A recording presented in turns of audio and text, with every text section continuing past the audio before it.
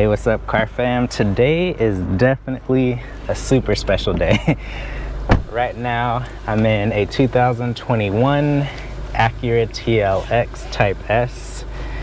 First impressions, I've only literally been driving this car like a couple minutes. Wow, it's super comfortable. I've been in a lot of German cars lately, and this is actually a really refreshing feel one thing I noticed right away, and sorry for any head movement um, in this video, it's literally a GoPro on the top of my head, so bear with me. Um, but anyway, first thing I did notice is the hood lines are super visible while you're driving, so that's something I'm not used to in the cars that I've been driving. Usually you're um, looking over them quite a bit, but in this case, it's the total opposite. So um, I could definitely clearly see like the hood lines, which is kind of good for when you're driving. That way you don't, you know, hit anything and stuff like that. But it's definitely a different experience. This car is pretty long, and because you have the hood in your front view, then obviously it kind of, you know, makes it feel a little bit different, like you're driving a longer car. But anyway, first impressions just um, man, makes me appreciate um, Japanese engineering. It's totally different. The philosophy on just comfort and different things like that. This is a very daily friendly um, driver's car. So if you're looking for uh, something that's more comfortable, you're kind of, let's say, over the more sporty, aggressive, stiffer suspension point in your life and you're like, you know what, I'm kind of over it, but I still love to have a good drive, I think this is one that should definitely be on your list. Um, it is pretty spacious in the back. So um, that part is cool. As long as the car is, considering the length, it still isn't like the largest space in the back, but it's definitely bigger than other things kind of in this segment. Pretty comfortable for your passengers and things like that. If you're cross shopping this and like a Lexus IS, let's say 300, 350, um, or 500 even, then this is definitely gonna be way more comfortable for you and your passengers. This is really nice. And the exhaust note, the way it's tuned, it has this like more high pitch uh, kind of growl and pop when it upshifts. Um, it's really, really cool. It's a very unique experience um, considering all the other German cars where things are a little bit lately more um, aggressive and loud and things like that and that's really cool. This is definitely more on like the chill side for the person that's in the middle where let's say they've come from just like a regular TLX or they've been in more like luxury cars and now they're like I need to start getting something a little bit more sporty for my drive because things are getting too floaty. I think that's kind of where this sits um, I haven't driven the BMW M340i yet um, but I'm assuming that one's definitely probably not going to be as soft as this but anyway I'm really really liking this package it's very comfortable. I know this car isn't necessarily um, aimed at being that, but it just makes me think of the old TL Type S and what that was and still is to this day is the sporty capability as far as driving, handling, and things like that. If I had to just kind of sum it up from just my initial first impressions, this is the one when you're targeting more of a comfortable drive. I'm gonna take it on a couple more corners in a little bit because I do want to get a sense of the handling. Um, it feels very direct. Um, the steering feel, right now I have it in Sport Plus. Um, it's not too light, it's not too stiff, it's kind of in the middle of um, kind of where cars are right now. I think it could be a little bit tighter personally, but I think it's definitely far from being too light, which is nice. But yeah, I really like it. Steering wheel feels good. This, okay, if I had to add another thought to it, this car in a couple years, everyone's gonna be like, I should have got it when it first came out. Now you're getting used ones, but the demo that's getting these right now, I think are not gonna put too many miles on them. I think you're gonna be able to get some really great stills on these. Um, this is gonna be one of those cars because the last gen TL, uh, TL Type S, that one right now is like in high demand and has been the past couple years. I was even personally thinking about getting one like a 07, 08 TL Type S. I still love that car. I drove it and it was great and this kind of carries on from that same philosophy philosophy and like goals of like who this car is aimed at. We're targeting handling. Um, I haven't really dipped into the performance yet, but I'm sure it's pretty good. But I believe this car is pretty heavy, like comparable to some SUVs. It's over 4,000 pounds, I believe. So all that weight kind of can take away from the performance for sure.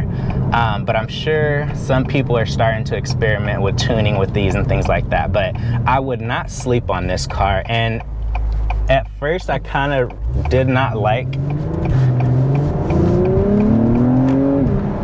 Ah, oh, they did so good with the exhaust note. Like this.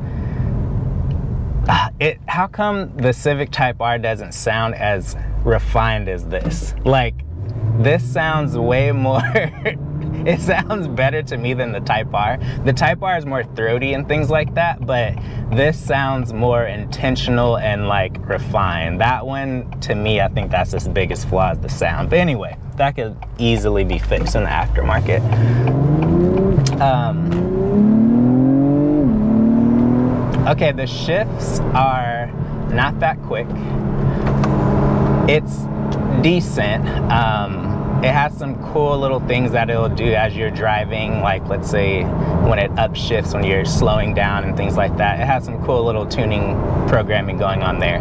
But the shifts can definitely be much sharper. In today's age, because you have the ZF transmission, you have dual clutches, anything that doesn't really get on that level feels dated and slow. So I think in a few years, that's going to be the thing that people are going to notice, where it's like, hey, the transit transmission should have been a little bit sharper and quicker.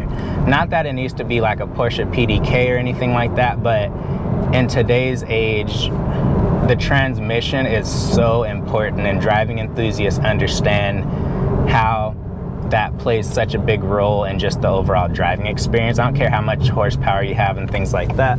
If the shifts are slow, it just takes away from the experience. And so um, that's something I think that they could do better. But as a package, one thing I was saying earlier is I thought this here would be a little more dated feeling, but now that I'm in here with it like kind of tinted windows, all that good stuff, it feels fine. This is still gonna be the first thing to age this car. And then this center um, speedometer area, you have like the analog plus the digital in the middle. I think it's fine. The gauges could have been done a little bit differently, but I think overall as a package, I don't mind that at all. And if I had to compromise something, I think I would you know, pick that over just overall driving dynamics and character. This car is really, really cool. I would not sleep on it. I would do an extended test drive on one of these though. I know that's kind of hard, but just to make sure. But I don't think you would be disappointed in like the daily driver factor.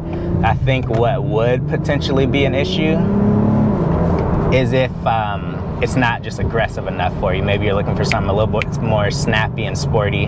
This could potentially disappoint, but as an overall package, this reminds me of what let's say Audi does, where it's more daily driver friendly than like BMWs. Um, but it's not as sharp and snappy in certain cars. That's kind of what this reminds me of, but a notch under Audi. BMW gives you that raw, you know, experience and things like that. Um, Audi's kind of like in the middle, and this I would put like under Audi. So if you've driven any of those cars, you kind of have an idea of what I'm talking about.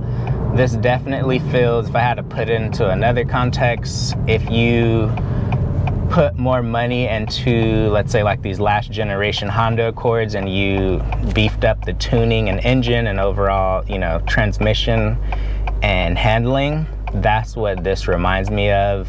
Makes sense. It's an Acura slash Honda product, but I'm really, really impressed. It's so comfortable. Like, I really, really like it. I would definitely consider this car. I don't know if it would be everyone's flavor as far as the design with the interior.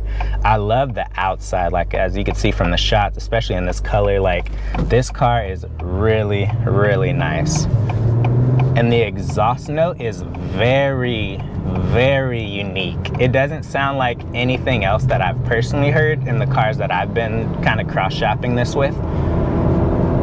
Oh, it's a more higher pitch. Oh, yeah, they did it right. I hope the, I'm actually gonna stop here because I wanna see what this is like off the line too. We're on going uphill, so don't judge it too hard. But um, I'm very curious what they're gonna do with the Acura Integra Type S if it's a baby version of this with a little bit more uh, younger personality, I think that's probably gonna be a little bit more dynamically friendly.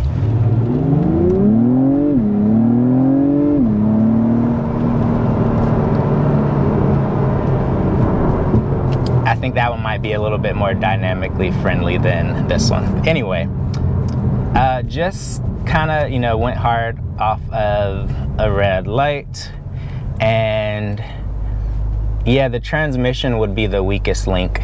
There's so many cars that are like more affordable than this that have much sharper transmissions where the shifts are really quick, more sporty, and I'm in Sport Plus. If I was Acura on the next versions, I would make this transmission work a little bit harder for sure to be able to be more snappy and responsive. Like if this had a, a ZF transmission, oh my goodness, it'd be a game changer because the power, it's, it's decent. It didn't blow me away. I think I've been more impressed with other cars, to be honest. But as a package, like if you're thinking about this and you're not tracking, doing anything like that, of course, like this is really cool as a daily. You get the really nice exhaust note, which is always going to be satisfying. And then, yeah, the steering wheel, I really, really love it. It feels really good. The paddle shifters are really nice. I've been wanting to drive this car for a really long time, so I'm glad it worked out today. This was really last minute, so I'm just kind of doing a casual POV drive. Overall, really, really like it. In my head, when I drive certain cars, I'm like, what would my wife think of this car? There's a couple things I think she would not like. And I'm only adding this because sometimes as car enthusiasts, we get so excited and we care about what's under the hood, the way it handles, and then you have to kind of think about the other side of it. It's like, okay, what would other people not like, maybe your spouse and stuff like that. So this here, man, if it was a touch screen and closer, that would have been cool for sure. That's like super tucked in and then you control it from here and all that good stuff. Um, so this would probably probably be something that most people would complain about, but you get used to it like anything else. The piano black, I think everyone in the world would prefer to have like a different material there. Um, love the ambient lighting, the stitching, super nice. The material up here is really cool. Uh, this section here on the steering wheel overall is pretty nice.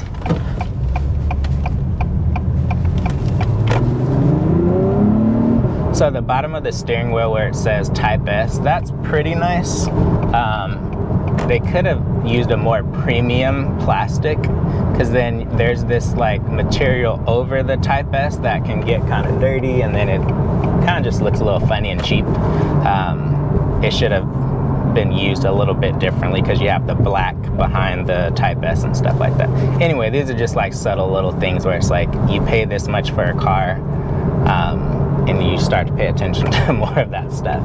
I know I haven't tested the sound system, but the ELS is definitely really, really up there with some of the like best sounding audio in a car. That's something Acura has always done a good